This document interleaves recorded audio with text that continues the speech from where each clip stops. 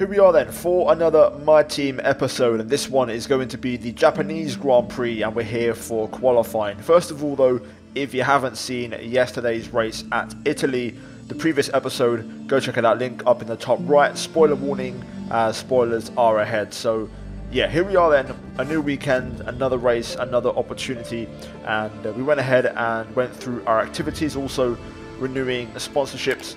We've got quite a few days until the next race, and a lot is going to happen, including some upgrades to the durability uh, department, I believe. And we're going to actually now bring up, let's say, or you know, have a competitive durability department because we've only got one more upgrade left, and this is a supplier upgrade. You know, we can't do nothing about this. This is up to Mercedes to bring these improvements, and uh, this one should arrive soon. But we've had two of these arrive for this race, so hopefully that will help us out in terms of general wear on the car, on the both power unit and the gearbox.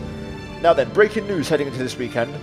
Carlos Sainz is announcing his retirement for season 8 and if you saw my community post yesterday I announced that we are going to do one more season because of the release date of the new F1 game. I can't really do another career mode, so we're going to do one extra final season in my team. So Sainz won't be present next season, and he'll be leaving Ferrari. So a bit of a shuffle on the cards. Now, the even bigger news is last race, you guys know we had an engine failure, and unfortunately, it was the control electronics, which means we don't have a fresh one available. So the weekend is already off to a terrible start as we're going to have to take a grid penalty this weekend for a fresh control electronics.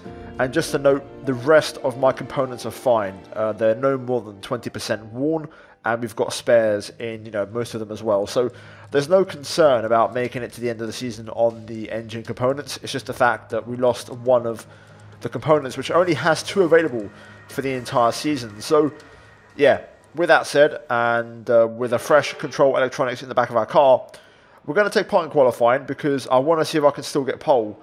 And then, worst ways, we go back 10 places and start from P11, which is still okay. And uh, you saw on the weather forecast, there is rain for the race tomorrow. So I think normally I wouldn't care, but in this situation, I want to be as hard as possible and, you know, really be ready for that rain if it were to arrive. So here we are going through the setup menu again as always making the adjustments for this weekend and we now hit the track in Q1 let's see if we can hopefully get through on one set of tyres and get the job done as we make our way into the Casio Triangle aka the final chicane for the final time or for the first time should I say as we open the DRS and run up to the line and it's going to be a 24.9 which is not a great lap. Uh, it felt okay, but it wasn't great in terms of lap time. I then had a cool down lap and went for a second push.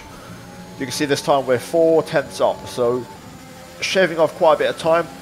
If we can find a little bit more, we might dip into a high 24.4. And uh, you can see currently two tenths off Giovinazzi in P12, but the final sector is our strongest one, and we're faster than anybody else as we throw the car through the chicane in fourth gear up to fifth get the, the drive off the corner and then run up to the line. DRS open and we go purple in sector 3 and we do indeed scrape a high 4. So yeah, we went back to the pit lane and we were sitting in P14. However, the gap to Lundgaard and Guan Yu Zhou, both of the Aston Martins, was about 4 to 5 tenths. So we're going to take a decision here and not go out once again and save a set of tyres. In the meantime, following on from that first run, I'm going to make a few tweaks to the setup including the tyre pressures, also the diff to try and improve a bit of rotation, and also reduce the front wing to give us a bit more stability uh, without hopefully creating too much understeer on the front end, and uh, also preparing the fuel for our Q2 runs as we retire from the session. And luckily, job done. We get through. So does Pierre Gasly. Uh, having said that, quite a big gap. You know, we're half a second off our teammate, which is um, quite a bit to find. It does seem like we're a bit off the pace here this weekend. So getting into Q3 is going to be a challenge for us in itself. So uh, yeah, that's the results for Q1. Verstappen, I think, was fastest by like four tenths. He's in a different planet compared to everyone else at the minute. So yeah, that's the kind of story in Q1 as we jump into Q2. Fresh set of tyres on the wagon, and we're going to try and push on with these setup changes and see if we can improve. So let's go for a full lap of Suzuka. Not a great first corner as we pick up some understeer and uh, didn't quite catch the first or second apex. Into the S section now though, and trying to be aggressive here, attacking the curbs and uh, making sure we carry a good, decent mid-corner speed. Making our way now through Dunlop. We just clip the inside curb and just have a moment as we almost lose the car completely and crash into the wall and invalidate as we ran off the track. But a bit of a moment there at high speed as we just caught the inside curb at Dunlop, which is a very, very slippery, uh, deadly curb, and you have to try and avoid it. Eventually, we brought the car back to the pits. I went back out again on the exact same set of tyres because they weren't that used. And I wanted to try and get a banker on the board.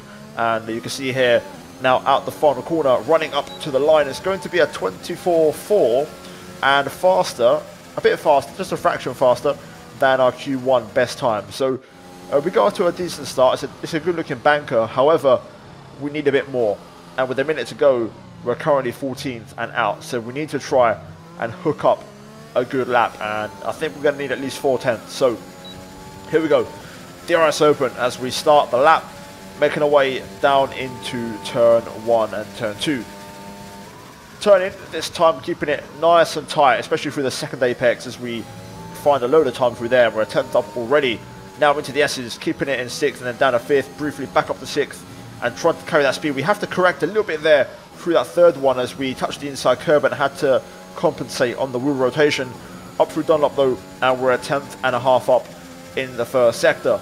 Degner 1 committing a lot of speed, and then Degner 2 we get great drive and a really smooth exit out of there and find quite a bit more time.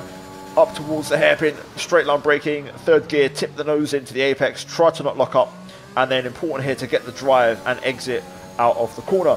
Two and a half tenths up, keep the car super tight, to the right as we approach Spoon Curve. Spot the 50, down two gears, and then down a third if you struggle with front end like I did around here.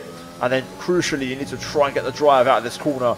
And you can see now we're two and a half tenths off, making our way into sector three, which is our strongest sector.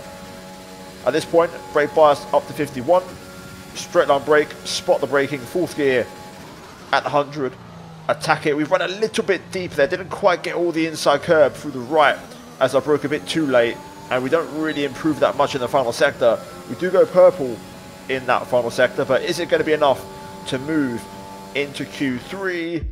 No, it isn't. Unfortunately, we're out in Q2. So, yeah, with the grid penalty, we are going to be starting last. And to be fair, a bit disappointing. I really thought we had a bit more pace than that, but it seems like, you know, P out in P11 as well we're just lacking a bit of pace around this track, at least in qualifying. So, yeah, uh, it's going to be P22 for us in the race. We tried to, you know, get P1 or at least get, you know, top five or something to try and, you know, at least I'll start from the very back of the grid, but it wasn't to be. So, uh, yeah, qualifying over, P P11, we finish in P13. I probably could have got through on an absolutely perfect lap.